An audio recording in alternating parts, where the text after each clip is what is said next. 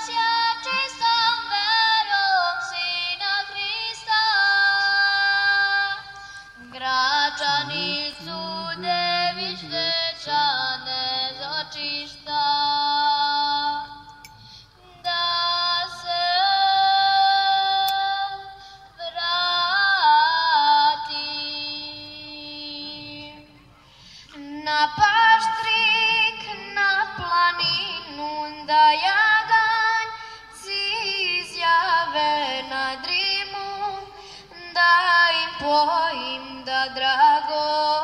mi pozdrave što ma